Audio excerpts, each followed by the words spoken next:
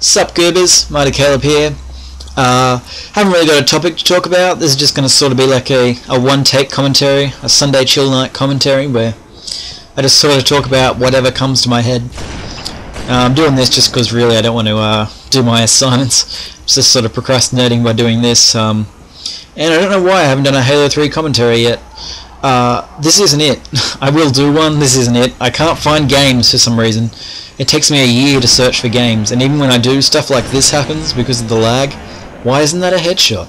Um, but that's okay. Like, eventually I'll, I'll get a nice long gameplay, and hopefully I can post that up. I might have to get some of the other goobers to help me out and do some matchmaking. But this game, it's... I miss it so dearly. Anybody who played this from like 2007, 2008 knows how fun this game was. Compared to like Reach, two years after this game came out, there was still on occasion more than 100,000 people a day playing it. Less than a year after Halo Reach came out, there was less than 10,000 people playing it a day. And that's really sad in some ways. I, am I'm, I'm really worried that nothing's ever going to be quite this fun again. This this game was it, it was something else, you know.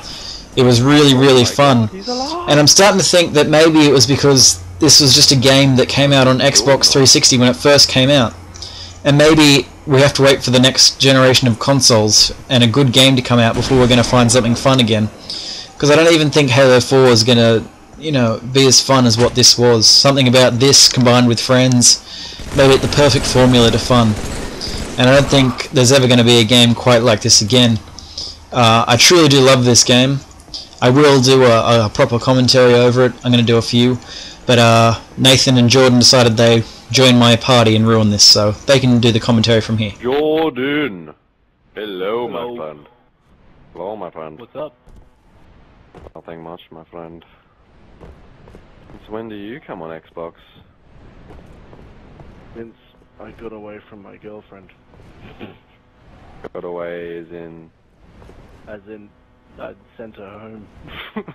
oh, right. oh, oh, oh, oh, oh, I nearly got it. Oh, I nearly got it. Oh! oh what?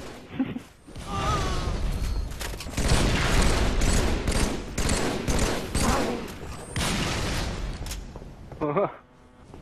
Silly bastard.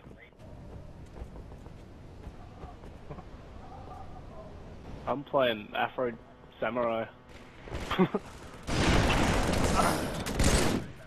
you